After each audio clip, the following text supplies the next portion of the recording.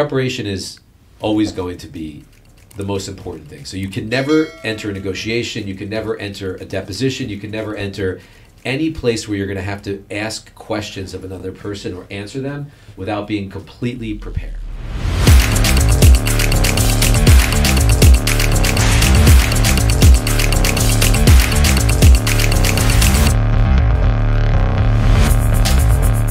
Right? That's Yeah. that's that's got to be the number one thing. And preparation has comes in different shapes and sizes. Preparation is we we, we could be unprepared and we're going to fail. But if we're prepared, then That's absolutely right. you, you can never lose when you're prepared. You- you and, spoke and I think that the the notion of being prepared for a non-lawyer might be a little bit different. I, that now that we're talking about it, the notion of preparation may be one of the fundamental things that we learn from being lawyers and practicing as lawyers.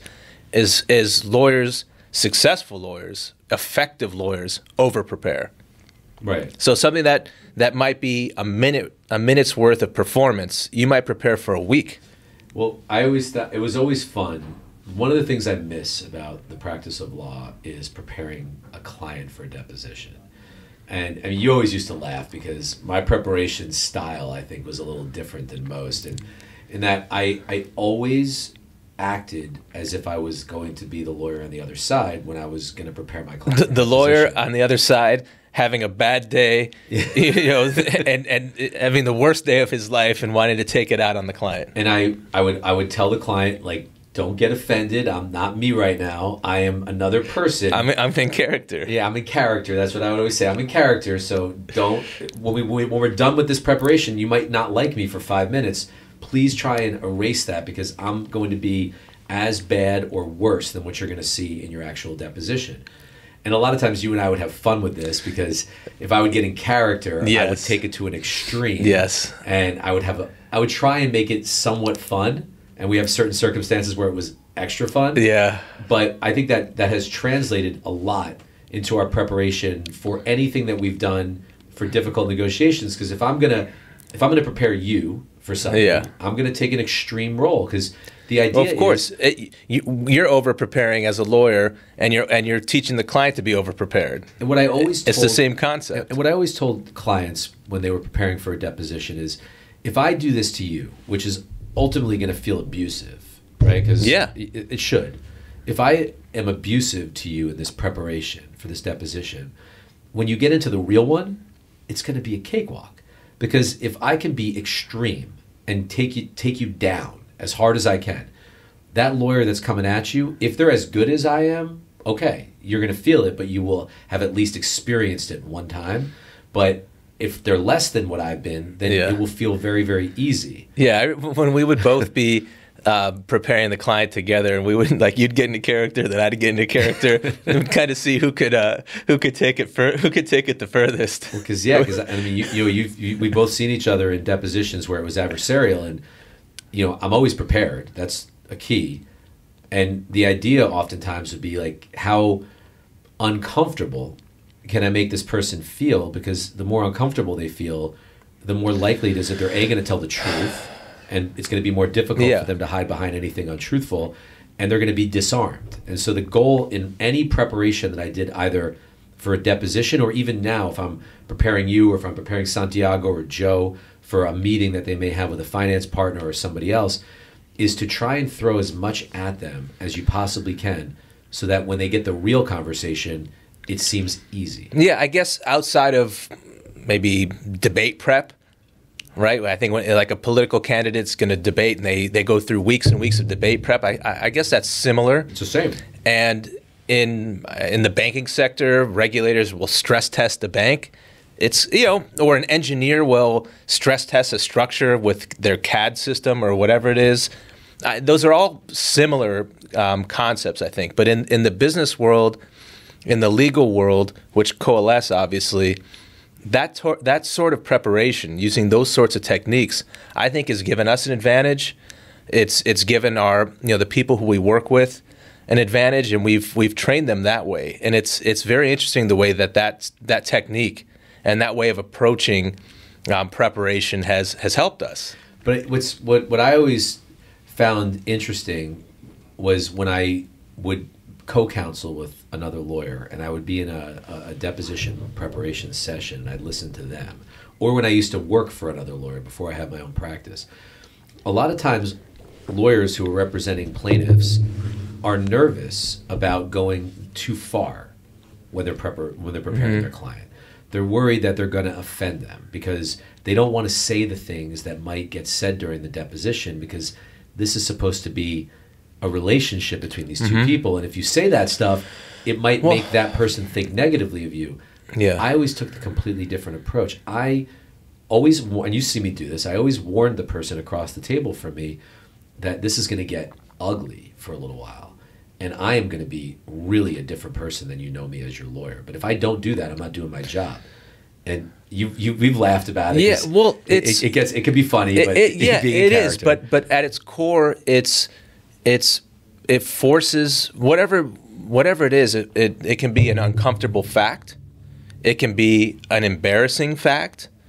It can be, or it can be a weakness in someone's argument or position. Right. I think that those are the common things that can come up in a deposition or in a negotiation or in a boardroom or whatever it is or in a sales pitch.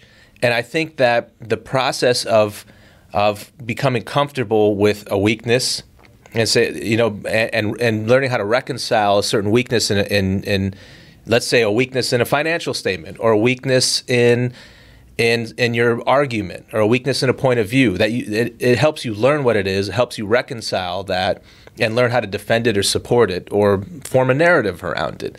If there's something embarrassing or if there's something that's uncomfortable well you got you got to get comfortable with that and if it's embarrassing you have to make peace with it yeah. it's interesting. I was watching. Uh, I like to watch Howard Stern interviews, especially now. I think he's the best interviewer. I- Every once in a while, I'll watch one that's spectacular, and I make you watch it. Yeah.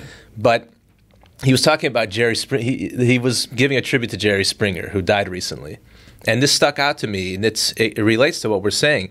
Jerry Springer, in his young career, he was actually a politician. Yes, mayor of Cincinnati. He was the mayor of Cincinnati. Yeah. He was he, uh, he was I think the youngest council member of Cincinnati, and um, his political re- career got derailed for a while because he had a marital infidelity, we'll call it. And on this Howard Stern tribute, he showed this old campaign video where after Jerry Springer was the mayor of Cincinnati, he he ran for governor, and he lost. But in this campaign clip, he said he, he said, "Well, we're close to the end, but I've got to talk to you about something that I did that I'm not proud of. It's embarrassing." And he went through it, and then he said, "The next governor is going to have to deal with some uncomfortable things, and they have to be willing." To, to confront those things head on. And by me talking about my own uncomfortable things, I'm showing you that I can do it in a calm way and in a confident way. And that stuck with me. I was like, wow, that's a very like very effective and very compelling message. It's also a good way to flip the script on something bad that you've done. It is, but that that in and of itself is a technique. But I think It is. going back to depo prep or pr- preparing for a debate, preparing for a, a sales pitch, a roadshow, whatever it is, that process of getting to the nerves, whatever they may be, and squeezing them, you have to do that because if you don't do that in advance and get used to that, then your opponent or your adversary or your counterparty or whomever it is will do it.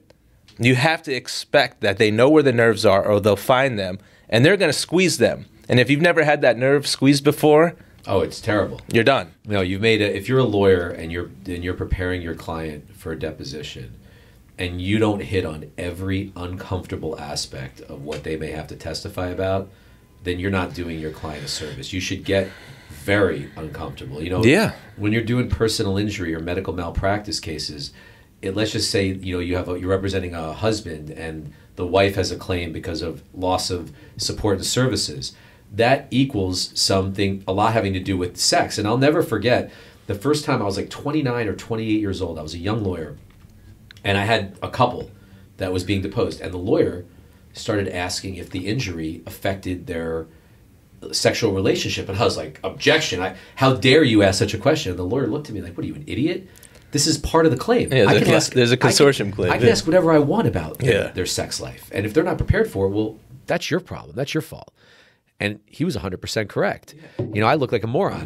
But I was thinking, I can't believe that this lawyer is going to ask these offensive. He actually asked questions like, what sexual positions can you not That's- perform in? that's And I was- fairly common. I, I was, I was like blown away by these Yeah. questions. But the truth is, they open themselves up to the claim and Yeah. they got to answer the questions. So and it's your job to prepare them in but advance from so that they don't point on, blush. I always told clients, so like, listen, I got to ask you some questions. Like, I may be like a 30 year old kid asking like a bunch of 55 or 60 year old people about their sex life, old enough to be my parents, and this may feel really weird and uncomfortable, but I got to do it because they're going to ask you these questions in the deposition. and so it got it, it, it got to be like the normal part of the prep. It was always I always had to warn them, listen, I, this I got to do this, and it's, Yeah. it's going to be a little tough, but when you hear it for the first time in deposition and I haven't asked you about it beforehand, you're going to look at me and say, Justin, how could you have not told me they were going to ask those kinds of questions? Oh man, we could have a whole podcast about that segment of depositions, and I can remember a few where some of the answers were, uh, "Holy crap!" I still, I, I I don't want to talk about it now, but you know exactly what know. I'm talking about. I know. They I could be- almost fell out of my chair. They could they could shock you, but they shouldn't shock you because you should already know the answer before they ever step in the room. It's not always, it's not always what's said; it's the delivery. But yeah, it could get it could get very uncomfortable. But- But but if I'm telling any lawyer out there, uh, young lawyers especially, when it comes to preparing clients for testimony, it's if you think that the question is a little inappropriate or tough or embarrassing, those are the ones that you should be focusing on because that other lawyer on the defense side doesn't give a damn about making your Right. client feel bad. A- a- They're actually looking to make Of them feel bad. course. And I'll say for non lawyers who are listening to this, hopefully they find this useful because just the simple act of, of, of sitting down with, if you're going into a meeting with somebody or a team or a, or a, a road show or a, a board meeting, whatever it is, the simple exercise of role playing, it sounds kind of silly role playing, but say, all right, I'm going to pretend to be, you know, the, the guy on the other side who's going to start asking you questions about this presentation and let me try and make it as uncomfortable as possible. Like, oh, how about you know I see on this line item that this was way off. What what what happened there? And and then you explain it. Be like, no, that, I don't buy that. That seems like a a pretty flimsy response. That that kind of uh, stress testing is extraordinarily important to go into something prepared and and to perform at your absolute peak. And then there's one other thing I'll say before we conclude, because we're probably big on time right now for this podcast. It's the disarming of people in, in, in meetings.